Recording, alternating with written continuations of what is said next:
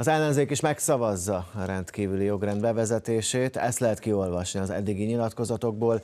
Nehéz kiigazodni a baloldali pártokon, tavasszal még nemet mondtak a járvány elleni védekezéshez szükséges intézkedésre, Például Brüsszelben támadták hazánkat, és a magyar egészségügyről egy lejárató videót is készítettek. A számok aztán bebizonyították, hogy a kormány jól védekezett az első hullámban. A gyors döntések most is életeket menthetnek. Jön az elemzés Barnával és vendégével.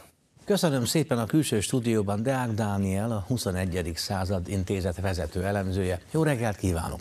Jó reggelt kívánok! Azért indítsunk már azzal, ha megengedik, hogy az első körben, amikor a kormány benyújtotta ezt a javaslatot, az ellenzéki pártok azt mondták, hogy hát ők nem szavazzák meg, mert leépül a demokrácia, itt olyan diktatúra lesz, hogy tíz évig nem lesz itt helyrehozva semmi, azt a kormány visszaadta még idő előtt, mikor azt mondta, hogy most már nincs szükség erre a helyzetre. Most a 90 nap benne van, hisz valószínű addig már meg lesz a vakcina, így aztán ott a 9. Most meg úgy néz ki, hogy át fog menni. Bár idáig még csak az LMP mondta ki, úgy face to face, hogy ők mellé állnak. Bár vannak kifogásaik, de megszavazzák. Vajon miért? Igen, ugye a koronavírus járvány első hulláma során már a kezdetektől lényegében ezek a baloldali pártok támadták a járvány elleni védekezést. A koronavírus törvény volt egy olyan pillanat, amikor olyan mértékben elfajult a kormány ellenzék viszony, hogy azt követően már egyfajta nemzetközi sajtóhagyjáratot, lejárató kampányt is indítottak ezek a baloldali pártok.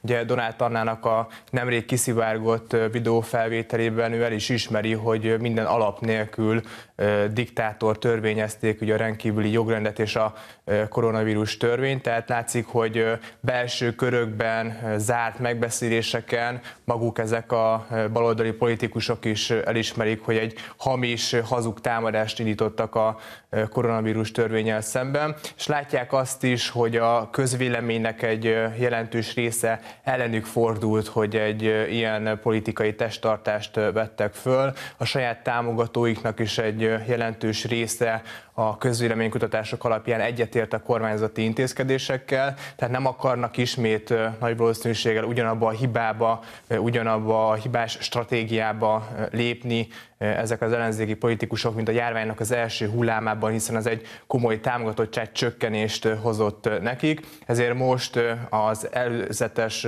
nyilatkozatok alapján meg fogják szavazni a különleges jogrendnek a meghosszabbítását, és jó eséllyel az a diktátorozás és mindenféle leárató kampánya különleges jogrend kapcsán most hát nem fog elkezdődni. Említette, hogy a támogatás csökkenést okozott, hogy az ellenzéki pártok, a baloldali ellenzék nem szavazta meg első körben a különleges jogrendet, de most az Európai Parlamentben a DK Dobrev Klára a európai minimálbérről beszél, azt mondja, hogy hatalmas sikert értek el, de kiderült, hogy erről szó sincs, mert ez egy választható dolog, meg nem is kötelező, nem is lehet minden országba bevezetni egyformán, mert ahány gazdaság annyiféle, na mindegy. A másik pedig Cseh Katalin és Donát Anna Momentumról, Momentumból ők meg a jogállamisági rendelkezésekről beszéltek, de hát itt sincs konkrét döntés, de egyik ők szájából se hallottam, hogy vírus van, hogy védekezés van, meg valami járvány elleni tenni kéne valamit. Bár lehet, hogy én ültem távol a tévéhez képest vagy messze a tévét, és nem hallottam.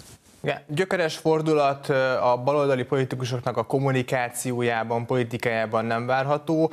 Ezt sokkal inkább egyfajta szépségtapaszként használják majd ezt a parlamenti szavazást, hiszen amikor megkérdezik tőlük mondjuk egy televízió műsorban, hogy mit tettek a járvány elleni védekezés kapcsán, akkor innentől kezdve elsőként rá tudják, rá tudják majd vágni, hogy megszavazták a különleges jogrendnek a meghosszabbítását, tehát sokkal inkább egy ilyen politikai szempont állhat a mögött, hogy most például a rendkívüli jogrend kapcsán nem ugyanazt a politikai magatartást választják, mint a koronavírus járványnak az első hullámánál, de ettől függetlenül most hétvégén és az elmúlt napokban is láthattunk példákat arra, hogy az az álhírkeltés, ami már tényleg hosszú hónapok óta jelenzi az ellenzéki kommunikációt, az fenn fog maradni, ugyanúgy támadják a járvány elleni védekezést, elég csak arra gondolni, hogy Koros Lajos ismét egy olyan, hát egy hamis statisztikát osztott meg a Facebook oldalán, amire rögtön felhívták a figyelmet, még baloldali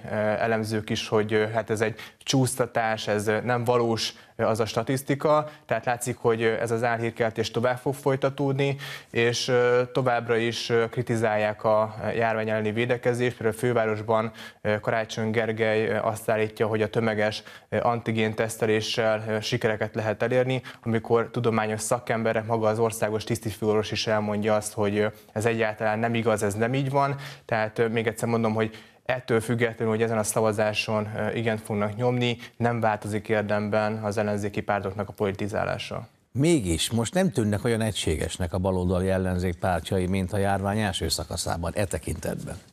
Igen, hiszen Gyurcsány Ferencék mindig azt hirdetik, hogy minden fronton támadni kell a kormányt, nem lehet ezzel a kormányzattal semmilyen kérdésben együttműködni, ez viszont nem igaz mondjuk más baloldali politikusokra, és a kiszivárgó információk szerint például a fővárosban is, de más településeken is, ahol ellenzéki vezetés van. Ez a típusú ellentét, tehát a DK és a többi ellenzéki pár közötti ellentét, az már hát éles vitákig fajult, és bizonyos megbeszéléseken elég rossz hangulattal tudtak csak egyeztetni ezek a baloldali politikusok, tehát érzékelhető, hogy a stratégiaalkotásban azzal kapcsolatosan, hogy ezeknek a baloldali pártoknak milyen magatartást kell folytatniuk a járvány kapcsán, ebben nem értenek egyet a baloldali politikusok. Vannak olyanok, akik azt mondják, hogy a nemzeti egységnek egy ilyen nehéz pillanatban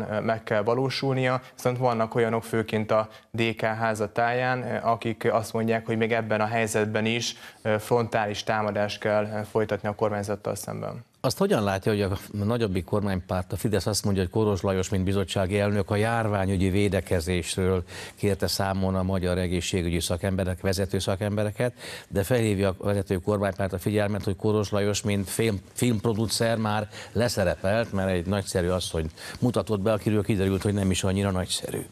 Igen, Koros Lajosnak az árhír videója az még a járvány első hullámát követően bejárta a hazai sajtót. Mindenki látta, hogy ez a politikus elvesztette a hitelességét mindenféle járványügyi kérdésben, ezért a Népjóléti Bizottságnak az ellenzéki vezetőjét mindenképpen le kéne cserélni ahhoz, hogy ez a bizottság a továbbiakban megfelelően tudjon működni. Egyszerűen egy ilyen hiteltelen, mindenféle legitimitását elvesztett politikus egy ilyen fontos bizottságot a parlamentben nem vezethet, tehát teljesen jogos a kormánypártoknak a hozzáállása ahhoz, hogy amíg Kóros Lajos tölti be ezt a pozíciót, addig nem fognak részt venni ennek a bizottságnak a munkájában, és ezt hozzá kell tenni, hogy az ellenzéknek bármikor meg lenne a lehetősége arra, hogy egy másik ellenzéki politikus jelöljön ennek a bizottságnak az élére, tehát nem arról van szó, hogy a kormánypártok meg akarnák szerezni ezt a bizottságot, a pártok közötti megalapodásnak a keretében ennek a vezetését mindenképpen egy ellenzéki politikus betöltheti. Deák Dániel, köszönöm szépen. Köszönöm szépen is.